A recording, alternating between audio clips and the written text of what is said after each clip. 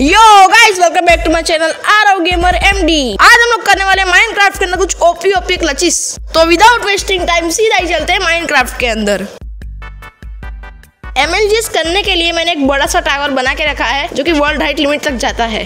तो फाइनली हम लोग आ चुके हैं ऊपर. बेड के ऊपर करते हैं respawn point set respawn point भी सेट हो गया, अभी चलते हैं सीधा पहले क्लच की तरफ़. सबसे पहला M L MLGs slime water bucket slime water bucket करने के लिए हमें नीचे कूदना है और लगाना है स्लाइम ब्लॉक फिर स्लाइम ब्लॉक के बाउंड से करनी है water bucket trick one two three और ये jump bye bye bye bye bye bye bye bye bye bye अबे यार, मर गया कोई बात नहीं फिर से।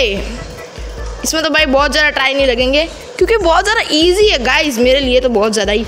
और ये, अबे यार, कितनी बार मर जाऊँगा यार मैं?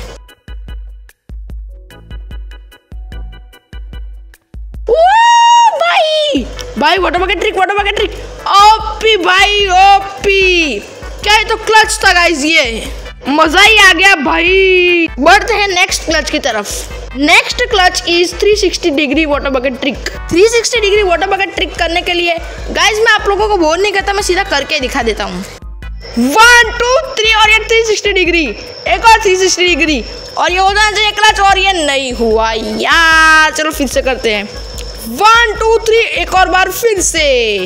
ये ये ये गाइस आप लोगों को पता चल गया ना?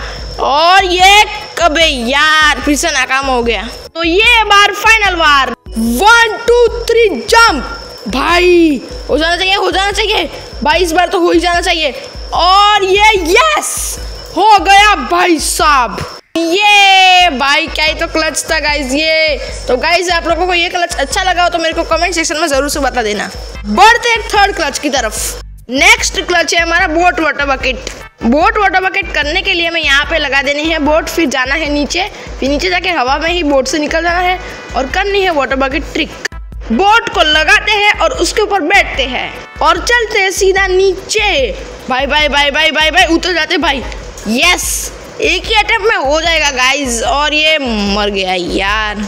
इस बार तो हो ही जाना चाहिए। ये उतर के हम लोग बोट से। और ले, जल्दी ले भाई वाटर बकेट और ये और ये और ये ये भाई! अबे, दूसरे अटेम्प्ट में हो गया। क्या ही तो किस्मत है गाइज़ मेरी? दूसरे अटेम्प्ट में ही हो गया, भाई साहब।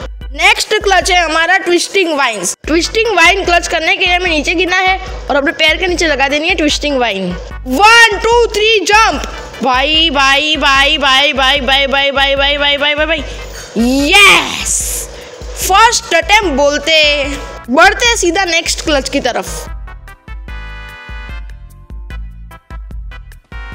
नेक्स्ट क्लच है हमारा लेडर क्लच लेडर क्लच करने के लिए हमें नीचे गिरना है और दीवार पर लगा देनी है लेडर कुछ इस तरीके से ला ला ला ला ला ला ला ला ला ला ला ये ये ये ये ये भाई भाई भाई ओपी ओपी ओपी, भाई। क्या क्लच कर रहा हूँ मैं? यस यस यस भाई भाई भाई। ये भाई। मज़ा ही आ गया। ओपी क्लच कर दिया। यस नेक्स्ट क्लच है कोल्ड्रॉन वाटर बकेट जल्दी ले, पानी पानी पानी ले लिया, पानी ले लिया।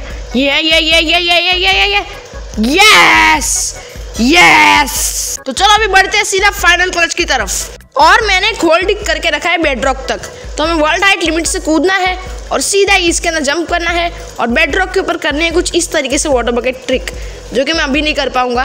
चलो one two three jump